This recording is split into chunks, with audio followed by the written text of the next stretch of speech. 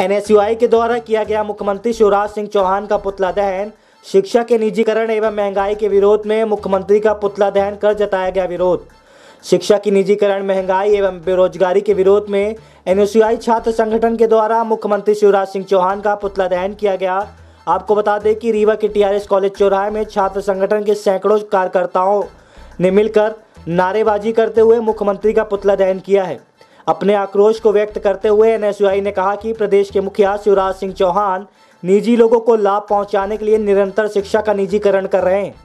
महँगाई चरम पर है, प्रधानमंत्री और मुख्यमंत्री लाखों रोज़गार देने की बात कर रहे हैं, जबकि कोरोना काल में लाखों लोग बेरोजगार होकर भटक रहे हैं।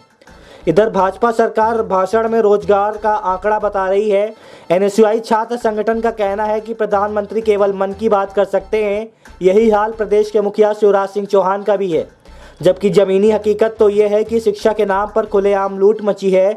महँगाई अपने चरम पर है और पढ़े लिखे नौजवान रोज़गार के लिए भटक रहे हैं। प्रस्तुत है टीआरएस कॉलेज के इकाई अध्यक्ष पंकज उपाध्याय से प्राप्त जानकारी के अंश। बताया एक एक मांगों को लेकर के पुतला दहन किया गया किसका पुतला आज हम सब एन के कार्यकर्ता शिवराज सिंह मध्य प्रदेश के सीएम का पुतला दहन किया है। हम लोगों का उद्देश्य ये था कि जो शिक्षा का लगातार निजीकरण हो रहा है और लगातार महँगाई बढ़ रही है और लगातार देश में बेरोजगारी बढ़ रहे हम छात्र युवा, हमारे माता पिता हमें पढ़ाते हैं कि हमारा छात्र बड़ा होकर कंपटीशन का एग्ज़ाम देगा और आगे किसी पोस्ट पे जाएगा। यहाँ क्या होता है? परीक्षाएँ होती हैं, उसके बाद रिज़ल्ट नहीं आता। पहले छात्र पचास रुपये सौ रुपये पाँच सौ रुपये का फॉर्म डालते हैं कि परीक्षा होगी, कंपटीशन का पेपर देंगे, कंपटीशन का पेपर हो जाता है तो रिज़ल्ट नहीं आता। अगर रिज़ल्ट आ जाता है तो ज्वाइनिंग नहीं होती, उसके कारण ओवर एज हो जाते हैं और लगातार इसके कारण बेरोजगारी बढ़ रही, छात्र बेरोजगार हो रहे हैं। कोई दर दर कहीं इस दुकान में, कहीं उस दुकान में भटक रहा छात्र, इसके जिम्मेदार कौन होगा?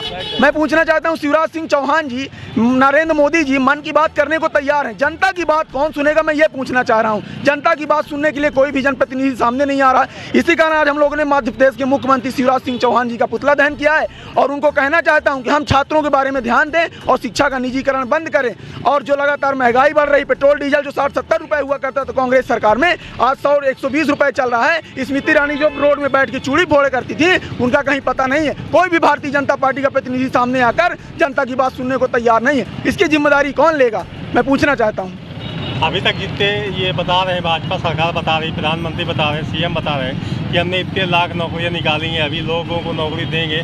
तो ये आश्वासन है या फिर देंगे। ये केवल आश्वासन है आप भी जानते हैं पूरा भारत भर जानता है कि तीन लाख ती, तीन तीन सालों चार सालों में तीन लाख लोगों ने अपने रोज़गार खोए हैं। ये हम नहीं कह रहे हैं ये मीडिया की न्यूज़ कह रही है पेपर कह रहे हैं न्यूज़ पेपर कह रहे हैं हम लोगों ने पढ़ा है।